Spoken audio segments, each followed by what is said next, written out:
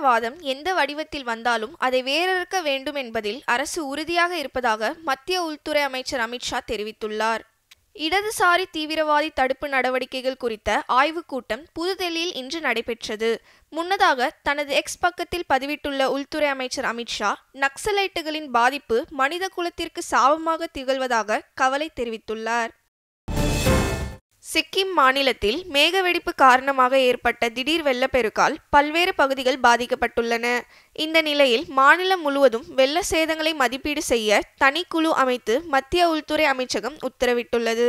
இதனிடையே பாதிக்கப்பட்ட மக்களுக்கு நிவாரணம் வழங்குவதற்காக மாநில பேரிடர் நிவாரண நிதிக்கு நாற்பத்தி நான்கு கோடியே எண்பது லட்சம் ரூபாயை வழங்க மத்திய உள்துறை அமைச்சர் அமித்ஷா ஒப்புதல் அளித்துள்ளார்.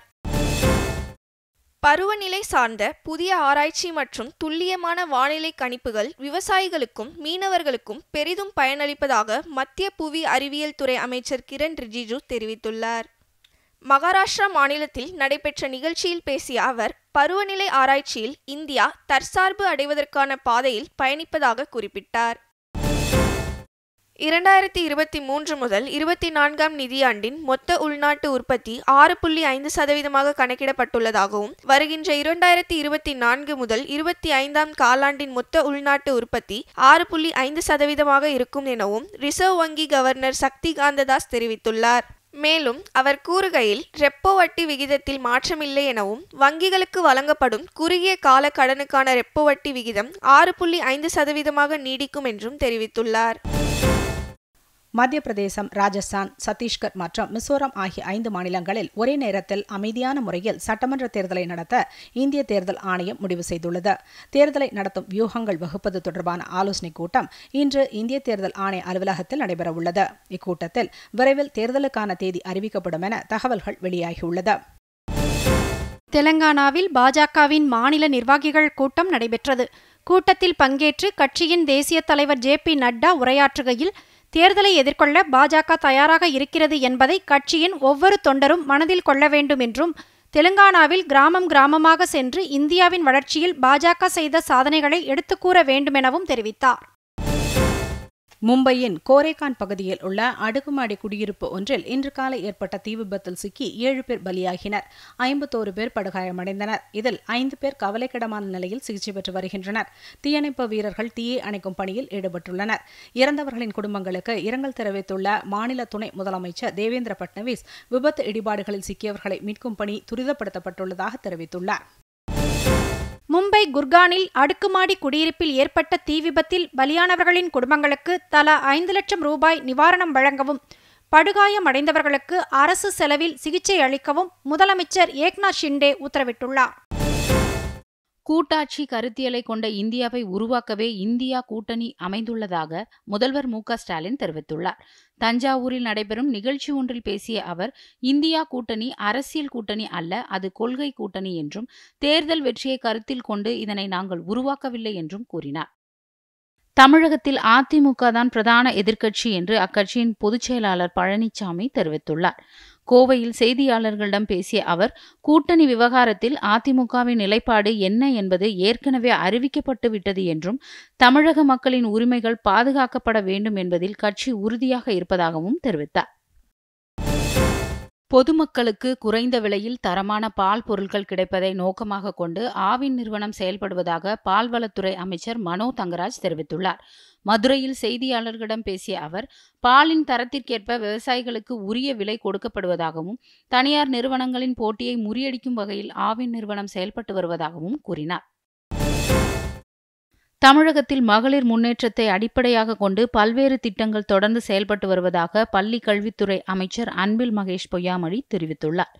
திருச்சி மாவட்டம் திருவெரும்பூரில் பேசிய அவர் நாட்டின் பொருளாதார வளர்ச்சியின் முக்கிய காரணியாக சுய உதவி குழுக்கள் திகழ்வதாக கூறினார். குன்னூர் பேருந்து விபத்தில் பலியான ஏழு பேரின் குடும்பத்தினருக்கு தலா இரண்டு லட்சம் ரூபாய் நிவாரண நிதியை வருவாய் மற்றும் பேரிடர் மேலாண்மை துறை அமைச்சர் K K S S R Ramachandran வழங்கினார். தென்காசியைச் சேர்ந்த ஐம்பதுக்கும் மேற்பட்டோர் கடந்த முப்பதாம் தேதி சுற்றுலா சென்று ஊர் திரும்பியபோது நீலகிரி மாவட்டம் குன்னூரில் ஐம்பது அடி பள்ளத்தில் பேருந்து கவிழ்ந்து விபத்துக்குள்ளானது. இதில் ஒன்பது பேர் பரிதாபமாக உயிரிழந்தனர். நாற்பதுக்கும் மேற்பட்டோர் படுகாயமடைந்தனர். சனாதனம் குறித்து அமைச்சர்கள் உதயநிதி ஸ்டாலின் சேகர் பாபு மற்றும் திமுக நாடாளுமன்ற உறுப்பினர் ஆர் ராசா ஆகியோர் பேசியதற்கு எதிராக சென்னை உயர்நீதிமன்றத்தில் கோவாரண்டோ வழக்கு தொடரப்பட்டது.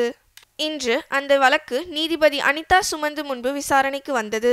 அப்போது இருதரப்பு வாதங்களையும் கேட்ட நீதிபதி அந்த மூவரின் பேச்சு குறித்த ஆதாரங்களை தாக்கல் செய்ய மனுதாரருக்கு உத்தரவிட்டு விசாரணையை வருகின்ற பதினோராம் தேதிக்கு தள்ளி வைத்தார். அரசு சித்த மருத்துவ கல்லூரிகளில் சித்த மருத்துவ பட்ட மேற்படிப்புக்கு இன்று முதல் விண்ணப்பிக்கலாம் என்று ஹோமியோபதி துறை ஆணையரகம் தெரிவித்துள்ளது. விண்ணப்ப படிவம் மற்றும் தகவல் தொகுப்பேட்டினை இன்று முதல் வருகிற இருபதாம் தேதி மாலை ஐந்து மணி வரை சுகாதாரத்துறையின் அதிகாரப்பூர்வ இணையத்தில் பதிவிறக்கம் செய்து கொள்ளலாம் என தெரிவிக்கப்பட்டுள்ளது. வார இறுதி நாட்களையொட்டி இன்று சென்னையிலிருந்து தமிழகத்தின் முக்கிய இடங்களுக்கு முன்னூறு சிறப்பு பேருந்துகளும் கோவை மதுரை நெல்லை திருச்சி சேலம் பெங்களூரு உள்ளிட்ட இடங்களிலிருந்து சென்னை உட்பட தமிழகத்தின் பல்வேறு இடங்களுக்கு முன்னூறு சிறப்பு பேருந்துகளும் உட்பட மொத்தம் அறுநூறு கூடுதல் பேருந்துகள் இயக்கப்பட உள்ளதாக அரசு விரைவு போக்குவரத்து கழகம் அறிவித்துள்ளது. மகாராஷ்டிரா மாநிலம் நாண்டேட் அரசு மருத்துவமனையில் நோயாளிகள் இறப்பு விவகாரத்தில் மாநில அரசுக்கு உயர்நீதிமன்றம் பல்வேறு கேள்விகளை எழுப்பியுள்ளது. இந்த விவகாரத்தில் இதுவரை எடுக்கப்பட்ட நடவடிக்கைகள் என்ன என்றும் மருத்துவமனையில் மருந்து கொள்முதல் வாரிய தலைமை நிர்வாக அதிகாரி பணியிடம் உள்பட நாற்பத்தி எட்டு பணியிடங்கள் காலியாக இருப்பது ஏன் எனவும் கேள்வி எழுப்பப்பட்டுள்ளது. பாஜக தலைமையிலான தேசிய ஜனநாயக கூட்டணியில் இருந்து வெளியேறியதாக பரவிய தகவலுக்கு ஆந்திராவின் ஜன்சேனா கட்சித் தலைவர் பவன் கல்யாண் மறுப்பு தெரிவித்துள்ளார். ஒய்எஸ்ஆர் காங்கிரஸ் கட்சியினர் பொய்யான செய்தியை பரப்புவதாகவும் அவர் கண்டனம் தெரிவித்துள்ளார். சிக்கிம் மாநிலத்தில் ஏற்பட்ட வெள்ளத்தில் சிக்கி உயிரிழந்தவர்களின் எண்ணிக்கை நாற்பதாக உயர்ந்துள்ளது.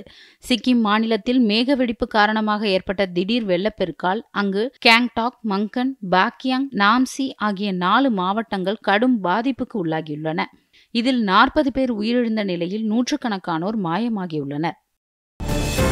இரண்டாயிரத்தி இருபத்தி மூன்றாம் ஆண்டுக்கான அமைதிக்கான நோவல் பரிசு ஈரான் நாட்டை சேர்ந்த நர்கீஸ் முகமதிக்கு அறிவிக்கப்பட்டுள்ளது. ஈரானில் பெண்கள் மீதான அடக்குமுறைக்கு எதிராகவும் மனித உரிமை மற்றும் சுதந்திரத்திற்கான அவரது போராட்டத்திற்காக அவருக்கு அமைதிக்கான நோபல் பரிசு அறிவிக்கப்பட்டுள்ளது. உக்ரைனின் முக்கிய துறைமுகமான தெற்கு ஒடேசா உள்ளிட்ட முக்கிய பகுதிகளில் ரஷ்யா சரமாரியாக ட்ரோன் தாக்குதல் நடத்தியது. ஈரானில் தயாரிக்கப்பட்ட இருபத்தி ஒன்பது ட்ரோன்களை உக்ரைன் மீதான தாக்குதலுக்கு அனுப்பியது. இதில் இருபத்தி நான்கு ட்ரோன்களை ராணுவம் சுட்டு வீழ்த்தியதாக உக்ரைன் பாதுகாப்பு அமைச்சகம் தெரிவித்துள்ளது. இதனிடையே கிழக்கு உக்ரைனில் நடத்தப்பட்ட தாக்குதலில் ஐம்பத்தோரு பேர் கொல்லப்பட்டதாக ரஷ்யா அறிவித்துள்ளது. சிரியாவின் ஹோம்ஸ் பகுதியில் வெடிகுண்டுகள் நிரப்பப்பட்ட ட்ரோன் தாக்குதலில் எண்பதுக்கும் மேற்பட்டோர் உயிரிழந்தனர். இரக்கமற்ற முறையில் நடத்தப்பட்ட இந்த தாக்குதலின் பின்னணியில் சர்வதேச தீவிரவாத அமைப்பு இருப்பதாக சிரிய நாட்டு ராணுவம் குற்றம் சாட்டியுள்ளது. உலகக்கோப்பை கிரிக்கெட் தொடரில் இன்று நடைபெறும் ஆட்டத்தில் பாகிஸ்தான் நெதர்லாந்து அணிகள் விளையாடி வருகின்றன. ஹைதராபாத்தில் நடைபெறும் இந்த போட்டியில் முதலில் பேட்டிங் செய்த பாகிஸ்தான் அணி நாற்பத்தி ஒன்பது ஓவர் முடிவில் இருநூற்றி எண்பத்தி ஆறு ரன்களுக்கு ஆட்டமிழந்தது. இருநூற்றி எண்பத்தி ஏழு ரன்கள் எடுத்தால் வெற்றி என்ற இலக்குடன் விளையாடி வரும் நெதர்லாந்து அணி சற்று முன்பு வரை இரண்டு விக்கெட் இழப்புக்கு அறுபத்தி நான்கு ரன்கள் எடுத்துள்ளது. ஆசிய விளையாட்டு ஆடவர் கிரிக்கெட் அரையிறுதிப் போட்டியில் இந்தியா வங்களாதேஷ் அணிகள் இன்று மோதின. இப்போட்டியில் இந்திய கிரிக்கெட் அணி வங்கதேசத்தை ஒன்பது விக்கெட் வித்தியாசத்தில் வீழ்த்தி இறுதிப் போட்டிக்குள் நுழைந்தது. ஆசிய விளையாட்டு வில்வித்தை போட்டியில் இந்திய அணி ஜப்பானை ஆறுக்கு இரண்டு என்ற புள்ளிகள் கணக்கில் வீழ்த்தியது. நான்காவது மற்றும் கடைசி செட்டை ஐம்பத்தி ஆறு ஐம்பத்தி ஒன்று என்ற கணக்கில் வென்றதன் மூலம் இந்தியா நான்காவது இடம் பிடித்தது. இதனால் இந்திய அணி அரையிறுதிக்கும் முன்னேறியுள்ளது. தமிழகத்தில் மற்றும் எட்டு ஒன்பது ஆகிய தேதிகளில் பதிமூன்று மாவட்டங்களில் கனமழைக்கு வாய்ப்பு இருப்பதாக சென்னை வானிலை ஆய்வு மையம் தெரிவித்துள்ளது கோவை நீலகிரி ஈரோடு கிருஷ்ணகிரி தருமபுரி திருப்பத்தூர் சேலம் உள்ளிட்ட பதிமூன்று மாவட்டங்களில் கனமழை பெய்யக்கூடும் எனவும் சென்னையின் ஒரு சில பகுதிகளில் அடுத்த நாற்பத்தி எட்டு மணி நேரத்திற்கு மிதமான மழை பெய்யக்கூடும் எனவும் தெரிவிக்கப்பட்டுள்ளது